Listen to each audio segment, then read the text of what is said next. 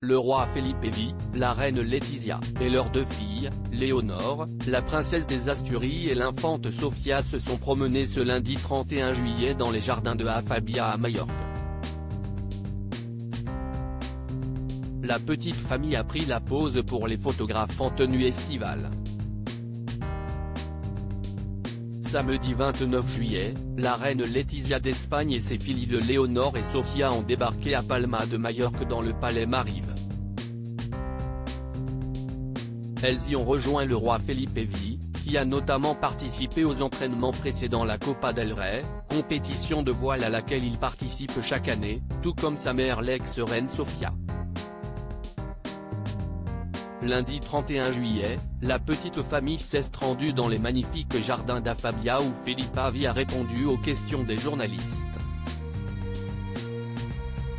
Il a notamment reconnu qu'il aurait pu mieux faire lors de la compétition de voile, même si cela aurait aussi pu être pire, a-t-il ajouté. Côté mode, la reine Laetitia a opté pour une robe midi rose bonbon pour cette sortie, pile dans la tendance Barbie. Une tenue signée Adolfo Dominguez, une marque espagnole que la régente affectionne tout particulièrement. Pied, elle arborait une paire d'espadrilles plates de couleur crème. Et il faut dire que les espadrilles étaient de mise pour cette sortie bucolique puisque les quatre membres de la famille royale se sont orientés vers ce choix. Quant à la princesse Léonore, elle était sublime en robe en lin verte à manches courtes boutonnée sur toute la longueur de la marque Mango.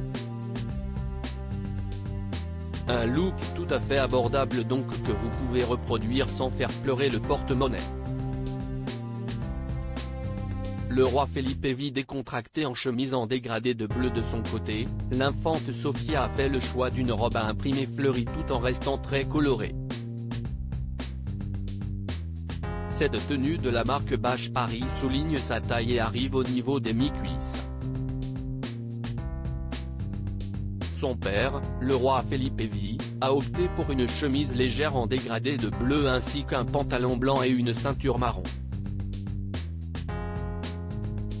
Au cours de la visite, Sofia a fait remarquer la tranquillité des lieux et la reine Laetitia a souligné à quel point les chênes verts du jardin étaient impressionnants.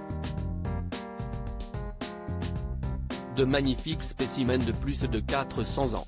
Alors que la visite s'achevait, le roi a déclaré beaucoup aimer l'endroit et s'étonner de ne pas y avoir mis les pieds plus tôt.